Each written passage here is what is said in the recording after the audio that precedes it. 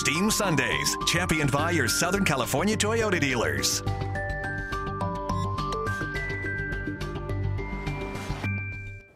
Shells, slugs, coils, and mm-hmm. tentacles. It's time for this week's Steam Sunday profile. KCAL9 meteorologist Danielle Gersh introduces us to one of LA's foremost snail scientists. I'm just waking it up after sleeping for a couple weeks. Hi there, little buddy. This is a really cool job. Inside a lab at the LA Museum of Natural History, Dr. Jann Vendetti spends another day exploring her passion. Here at the museum, I am the assistant curator of malacology. what's malacology?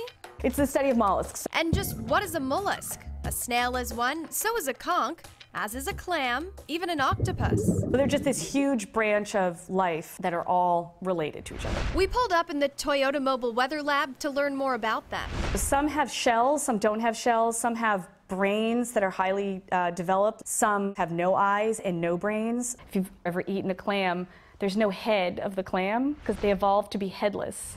Weird, right? The characteristics that unite them are their body organs. The underside of this common garden snail reveals its tiny crescent shaped mouth.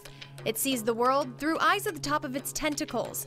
And it's a cousin of the creatures who once lived in these seashells. All of them except these two are snail shells. Of all the STEAM disciplines, malacology relies most on science. And in that science, uh, biology and paleontology. There's also some math. So there are rules that govern coiling. Take these two shells. So this one's coiling and making this shape. This one's coiling and leaving that shape. Because they follow the same rules of coiling, they fit together like light bulb and socket. It is coincidental, but awesome. Math and the universe are amazing. Jann studies and helps document the museum's vast collection.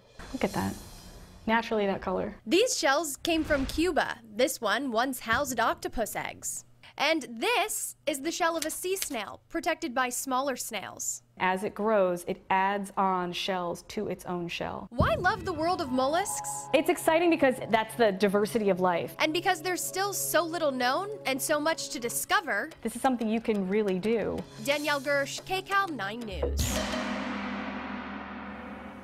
Ooh, and for more on malacology and other STEAM careers, visit us at kcal9.com slash STEAM. And